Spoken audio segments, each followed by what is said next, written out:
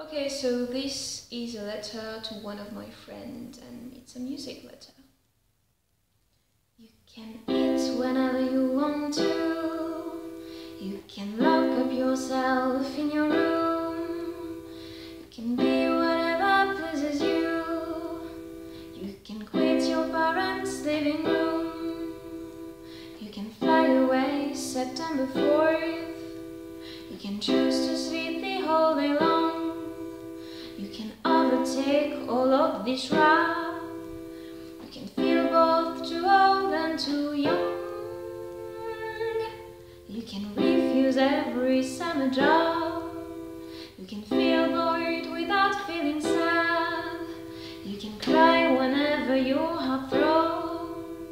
You can choose that none of this is.